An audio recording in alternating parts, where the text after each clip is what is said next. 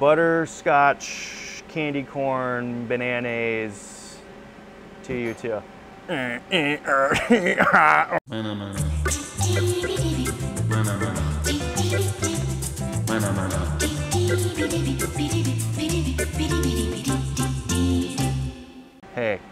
hello. This is Patrick, Paul Component Engineering, shop manager here, process engineer. Everyone wears many hats. Gonna abbreviate that part of my uh, speech. This here is a uh, Femco HL25. It's a two-axis lathe. It was made in 2008. We bought it new in 2008, and it has been with the company ever since then. So she's turning 16, I guess, next year. And uh, it has been a workhorse for the company. We makes a lot of things. And for those of you who don't know what a lathe is, it makes round stuff. So the workpiece or whatever you're working on spins and the tools are stationary. They're in a turret over here. Turret. So these, these change, you got a bunch of different tools. You get 12 typically, this one has 12. This is known as a slant bed lathe. Um, and it is the first machine we, we automated. It's also the easiest machine to automate because you just stick a bar feeder on the back of it. So it has a 12 foot hydro, LNS hydro bar, which is just a really, really basic hyd hydro bar, really basic bar feeder. And uh, you can basically take full 12 foot bars, stick them in that thing. This thing will chop it up, catch the parts. Got a little parts catcher in there, which is gonna hit the chucks because that's not supposed to be there. Um, but it'll, you know, make a part, cut it off, advance the bar, make a part, cut it off, advance the bar, catches them in this little conveyor and it comes out in a bucket over there. So we make, you know, all of our round things like axle nuts, the axle, and then you assemble the nut onto the axle, Motolite arms. So it comes off the lathe first, and then it goes onto a mill and gets all the milled features, so all the square stuff is done on a different machine. Um, but yeah, so this has made a ton of stuff over the years. We've put a lot of money in it, in it the last couple of years just to keep it going. It's uniquely sized. It's actually the only machine that fits here, as far as I can tell. Um, so, you know, at this point, we're going to keep it going. So we put, we actually put a whole new turret assembly on this machine last year, uh, where we just took the turret off the carriage, dropped a brand new. We had the place send us a new one, put it in, and uh, it's working great. Spindles probably needs to be done, but it still has the original spindle in it from 2008. Tailstock's fine, everything's super square, super great. Uh, I'm, I don't, I'm gonna talk about how many cutting hours versus how many on power on hours. So all these controls track how, how long the machine's either been on sitting, which it is now, it's not actually doing anything, uh, versus its cutting time, meaning time in cut. So when it's actually cutting something, uh, it tracks all that, kind of like an odometer in your car. Uh, this machine has 35,928 power on time. So this would be considered power on. It's just on, sitting here, not doing anything. And it has 15,565 cutting hours on it. And that means time in cut. So just when it's, only when it's cutting metal.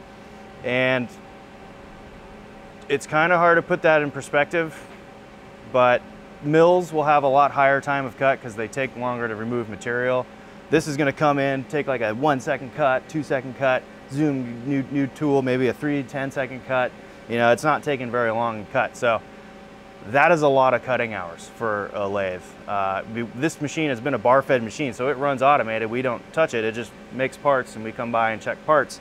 So this thing has basically been on and running parts most of its life. It just recently got into being more of a chucker lathe where we, we do piece part work, meaning we're taking one piece, someone stands here and loads the piece into the, into the chuck.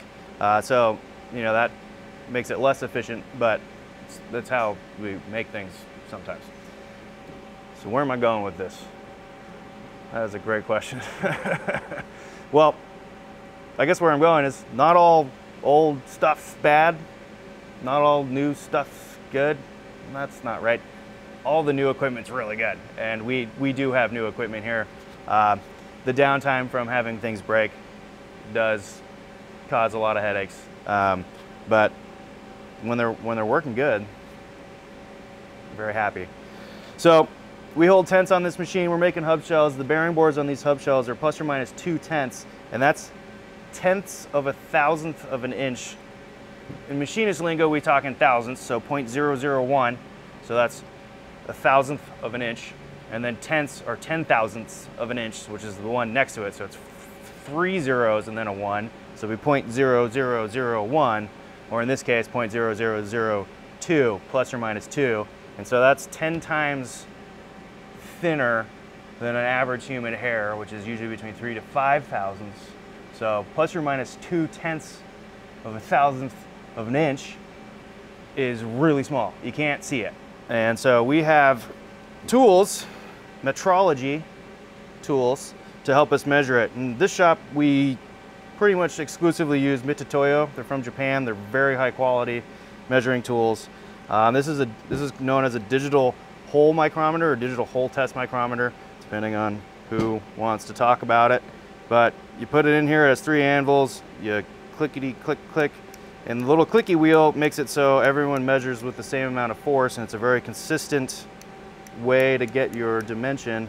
We'll see this one's in tolerance. Boom, it's one tenth out of nominal. So this is measuring, I'm not gonna tell you what we do our bearing bores to, but it is, you say that anymore? I don't know, but it's ammons, as we say up here, up in uh, Ammon country. Shake the L out of them. I'm going down a rabbit hole. Anywho, I hope you found this interesting. I find this stuff wildly fascinating. And uh, that's probably why I do it every day. I enjoy coming here to do it. And I hope you enjoy whatever you're doing out there. Thanks for taking this moment tooling around with Pat. Another moment to come, hopefully. I'll see you in the future. Peoples of Butterfly, Flutterby, bananas to you.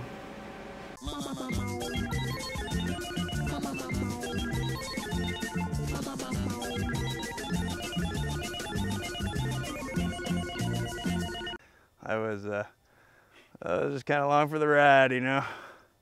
Life's a ride. Grab it by the handlebars. Moments in time with Pat.